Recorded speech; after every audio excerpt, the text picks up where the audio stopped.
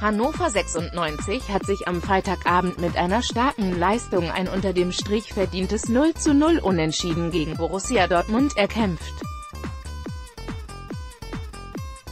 Aus einer insgesamt gelungenen Mannschaftsleistung der Niedersachsen stach einer jedoch nochmals hervor, Linden Main A.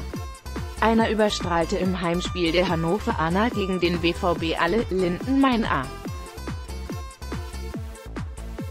Der erst 19 Jahre junge Offensivspieler legte eine überragende Leistung auf dem Platz und ließ so sogar die Stars der Dortmunder Mannschaft in seinem Windschatten stehen, mit unwiderstehlichen Dribblings. Besonders in Erinnerung bleibt ein Lauf über die rechte Seite, an dessen Ende Dortmunds Mittelfeldspieler Thomas Delaney verdutzt ins Leere gerätschte starken kämpferischen Einsatz und einer überragenden Laufleistung, zog der U20-Nationalspieler die staunenden Zuschauer in seinen Bann.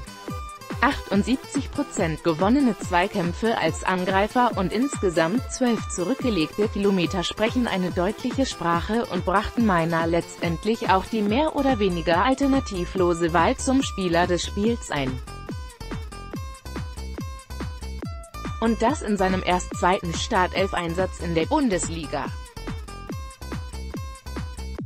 Die Niedersachsen, die in der Sommerpause durchaus A und tief auf dem Transfermarkt waren und mit mehreren Neuzugängen in die neue Saison starten, hatten ihren neuen Hoffnungsträger und vielleicht besten Neuzugang in Person von Main A vielleicht bereits schon länger in den eigenen Reihen.